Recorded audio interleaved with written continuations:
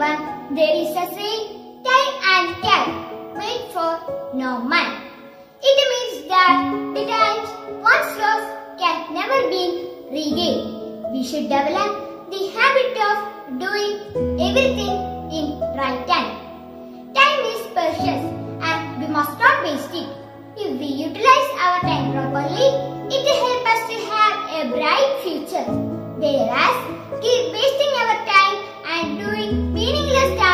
it can be lead to failure.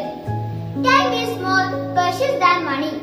Every person who wants to successful must understand the value of time. Doing right things at the right time is also important.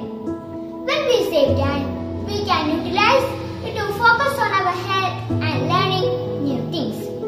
Spending our time with our family is also equally important. It is said that time is the most precious gift you can give someone. Then why not give it to our loved ones? If we look at the successful people in the world, we can see that they all know the value of time. They know that time is an important resource, but it's limited and non-renewable.